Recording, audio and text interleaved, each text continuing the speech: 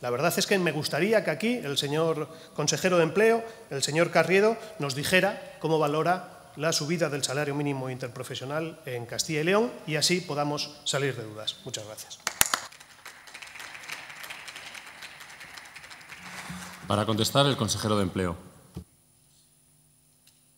Muchas gracias, señor presidente. Hay una valoración muy clara, que es una lección que nos ha dejado la crisis, que es cuando hay crecimiento económico y hay creación de empleo, este crecimiento económico y esta creación de empleo se traduce en una mejora de las retribuciones y en un incremento de salarios. Y, por tanto, lo que hay que hacer es crear las bases para que haya crecimiento económico y para que haya creación de empleo. Fíjese si es así que llevamos un tiempo de crecimiento económico, de creación de 70.000 puestos de trabajo en Castilla en esta legislatura, donde se ha posibilitado un acuerdo nacional entre sindicatos y empresarios el pasado año para un incremento del salario mínimo interprofesional, donde esta situación ha permitido un acuerdo marco para toda España de mejoras retributivas que luego han llevado a convenios colectivos, siempre con mejoras de retribuciones de los empleados del sector privado, y donde ha habido un acuerdo nacional entre el Gobierno el año pasado también y los sindicatos eh, de representantes del sector público, donde hay una mejora retributiva también de las retribuciones de los empleados públicos como consecuencia de esta mejora de las condiciones económicas. Y esto no ocurrió en la época de crisis, sino todo lo contrario. Por tanto, la principal lección, la principal valoración que yo le puedo hacer es que si queremos, y yo lo quiero, que mejoran las retribuciones y los salarios en Castilla y León, lo que tenemos que hacer son las políticas que contribuyen a crear empleo y a crear puestos de trabajo en nuestra comunidad autónoma y en el conjunto de España. Muchas gracias.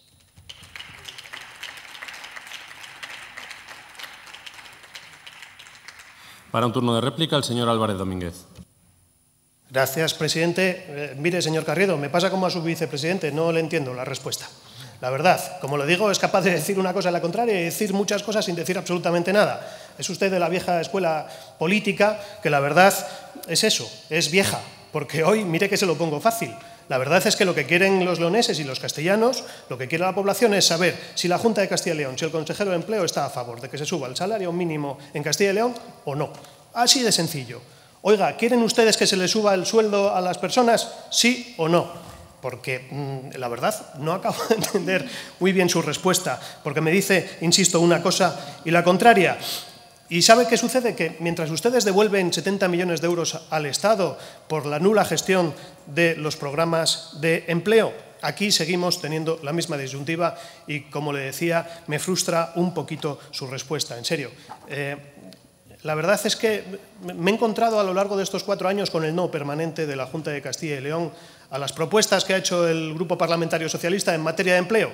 Insisto, Podría parecer una legislatura perdida en este sentido, pero la verdad es que ha servido también para confrontar dos modelos, para que nuestros vecinos y nuestras vecinas sepan, vean, clarifiquen de una vez por todas cuál es un modelo y cuál es el otro modelo. Y como le digo, ustedes han sido los del no permanente y los de la contradicción permanente. Con el salario mínimo les ha pasado esto, pero les ha pasado con otras iniciativas, votando aquí en contra, por ejemplo, de poner en marcha una ley de igualdad salarial y, sin embargo, ahora pretenden poner en marcha una con nocturnidad y alevosía. Eh, mire, señor Carredo, la verdad es que sí, la verdad, me, me, voy con la satisfacción de haber podido debatir con ustedes durante estos cuatro años. Me marcho también con la frustración de no haber encontrado en el Gobierno de la Junta de Castilla y León más empatía también con este tipo de problemas y ojalá, ojalá que en su réplica sea capaz de decirnos, por una vez, ¿eh? se lo pido durante una vez, en cuatro años no está mal, ¿eh? no le va a pasar nada, está a favor o en contra de que se suba el salario en Castilla y León. Muchas gracias.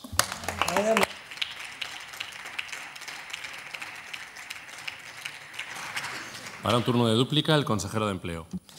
Bueno, hay una cosa que sigue puede estar usted tranquilo, que es que decía usted que ha querido confrontar dos modelos y los ha confrontado. Hay un modelo en materia de empleo, que es el del Partido Socialista, y hay un modelo, el de la Junta de Castilla y León y el Grupo Parlamentario Popular, que son bien distintos.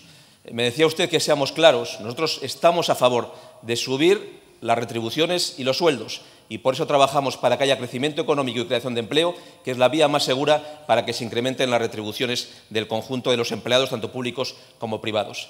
Y hay otro modelo, que es el que usted dice, que se ha podido contrastar, que es el modelo socialista, que donde se ha aplicado y cuando se ha aplicado ha supuesto recesión y ha supuesto pérdida de empleo y aumento del paro. Y se ha traducido al final en bajada de retribuciones.